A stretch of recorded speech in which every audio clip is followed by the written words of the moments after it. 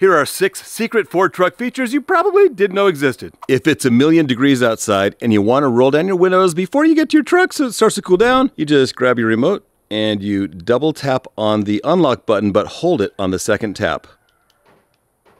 Hold it for about three to five seconds and then it rolls down the two front windows, and if you have a crew cab, it does not roll down the back windows. I need help. You're supposed to be able to roll up the windows by just pressing and holding the lock button for about three seconds. But when I press it, nothing happens. Let me know if it works on your truck. My truck's a 2018 F350 XL dually. XL is kind of the base model. This does have a few upgrades. Most of the things I'm going to show you are going to work on most Ford pickups after about 2015. It'll be slightly different depending on the year, make, model, and upgrades you have on your truck. Hopefully you know what I'm about to show you. This is not one of the hidden features. This is something you... I actually didn't know when I first got my truck and I had to dig around for a long time to find this. But if you ever get a flat, you better know where your jack is. When I first got my truck, it took me a long time to find this. But if you just go in the back seat and you look right here, you'll see this little flap. Just pull it and bam, there's your jack behind your seat. But what you probably didn't know is if you come back over to the driver's side of your truck, you lift up the back seat just by lifting it and you got a bunch of storage here. But check this out. If you reach behind the seat and lift up on this little button, it unlatches the back. And then you lower this seat by pulling out the handle. And now this whole thing folds down and look at this. Look at all this space back here. If you got gold bricks, this is the place I'd put them because bad guys won't think to look back here. This is the mechanism on the back of the seat. It's about this far from the top, so that's kind of how far you have to reach. And this is what it latches to. When you lower the seat, you're gonna see it open like that because it's already open. But when it's up there, it looks like this, closed. To open it, you reach over to this other side and you lift up on this button. It's gonna feel weird, it's hard to find, but just feel around for this and you push up like that and it'll open the latch and then that'll disconnect it from that and you let the seat down and the whole thing will open. Now, that is a huge pain. They do make a little thing on Amazon. You can just attach to this thing so you can just reach it from there. But once you find it, it, will be easier next time. This is all part of the same tip, extra storage. But if you have a truck that doesn't have a center console, you got extra storage in lots of places. Like there's one right here. Looks like just a, uh, oh, there's my credit cards. Looks like just a trim piece or something, but it's actually extra storage. So uh, use that.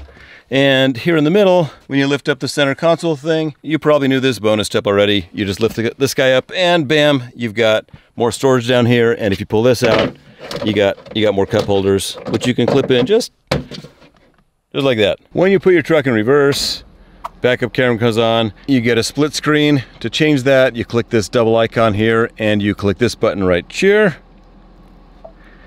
But did you know, that part you knew, did you know if you hit the plus sign, you can actually see what you're backing into to get a close-up view of that. That guy right there, the trailer hitch, you just click on this plus sign, bam, backup view. By the way, my camera looks terrible still. What you may not know is that Ford has finally issued a recall on these cameras. They just don't have the cameras in stock. And right now it's like summer of 2023. So hopefully they'll get them in stock soon. But let me know in the comments if your camera sucks as bad as mine does. In case you're wondering about this, I finally found a phone mount that my phone doesn't actually fall out of. It's by Bullet Point, and I mount my iPhone 11 Pro Max in here, and it's and it's rock solid, which is kind of nice. I got a video about it uh, linked in the description if you care. When I first got my truck, I noticed that sometimes I could see what gear I was in right there, and sometimes I couldn't. I eventually figured out that the way to get those gears to show up was right here on the shifter. If the gears aren't showing up here and you press on this thing, they'll appear and press it again and they'll disappear. If you are actually driving and you press on it, you can manually shift gears with this thing, which is actually the purpose. Oh, guess what these are? New personalized plate for the trucks. I haven't put them on yet. Guess what they are? I'll show you in a second. If your truck has buttons here on the steering wheel and has these buttons for your sound system, you can turn your truck into a Mustang or a Lincoln or whatever you want, and this is how you do it. First, you have to make sure your sound system is on, so you just press the volume button and turn it down so the static doesn't annoy you. Then you press these two buttons at the same time.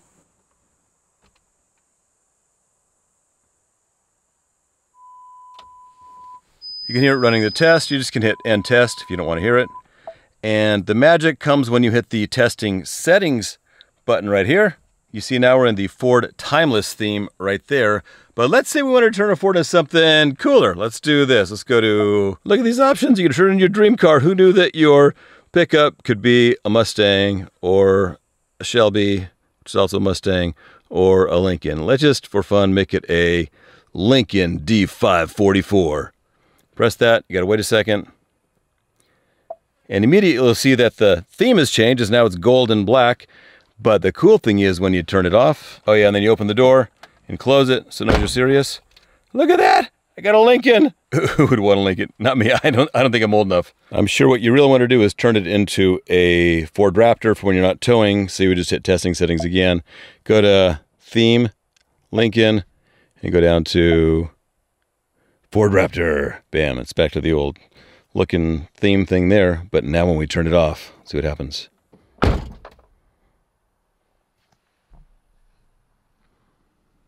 In my last video about hidden secrets you didn't know about your Ford truck, we talked about the tow haul button, and a lot of people pointed out that if you double tap it, you can get into sport mode. On my truck, which has a 6.7 diesel and is for towing, you can't get into sport mode there, but you can get into sport mode on trucks configured this way by double tapping on the traction control button.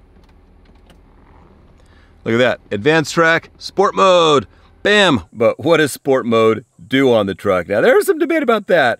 Personally, I think all it does is adjust your traction control settings so you don't have as much traction control and you can do burnouts and donuts probably a lot easier. Other people think the button does other things, sport mode does other things. Let me know what you think. What does the traction control button do on a 6.7 liter diesel F350 dually? Put, put that in the comments. Ooh, look, license plates. I'm sure you knew this already, but you don't need to have disgusting cup holders just because your kids pour chocolate milk in them. You can just pull them out like this and run them in the house and actually wash them. And no, this isn't the first time I've ever washed them in three years of owning this truck. Here's the current plate. No good, boring. I got this. What do you think? Our channel, Lyfe Untethered. This is our, our life. To see the other seven things you didn't know your Ford truck could do, click, click right about, about there.